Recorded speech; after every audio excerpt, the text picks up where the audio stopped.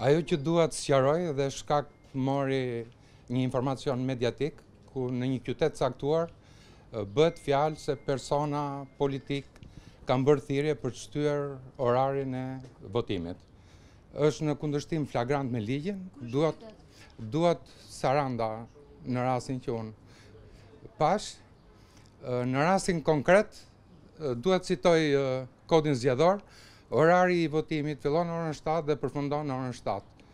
E vetmja mundësi është nëse përpara qendrave të votimit ka zgjedhës në radhë, komisioni duhet të dali të marri dokumentet e identifikimit dhe kjo është e vetmja mundësi që këta persona të votojnë. Përtej kësaj, votimet janë të mbyllura, askush nuk ka të drejtë të tejkalojë normat dhe kërkesat e ligjit.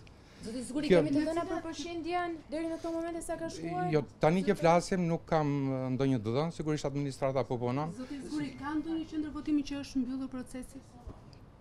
Në dijeninë time, tani që flasim, nuk di nëse janë mbyllur apo jo qendrat e votimit, por e them dhe një herë, marr shkas nga deklarata mediatike, ku bëhej fjalë për kërkesa që duhet të shtyhej rreth 30 minuta votimi, e them dhe një herë dhe kjo ishte Ajo që më nxiti për të dalë përpara medias, votimi fillon në orën 7 dhe mbyllet në orën 7. Është kërkesë e ligjit dhe nuk ka kurrkush të drejtë për të tejkaluar këtë normë.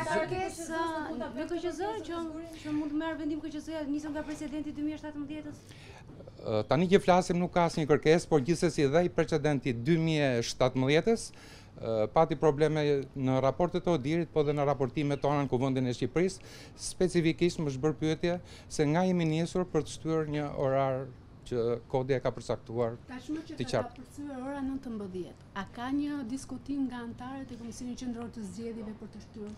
Isha i qartë besoj, nuk ka asnjë kërkesë të tillë, nuk ka një mbledhje të KQZ-s me një rend dite të tillë. E ritheksoj dhe një herë, është normë e kodit zgjedhor Votimi fillon në orën shtatë dhe përfundon në orën shtatë. Kjo ishte ajo që unë desha të dalë dhe të deklaroj. Faleminderit.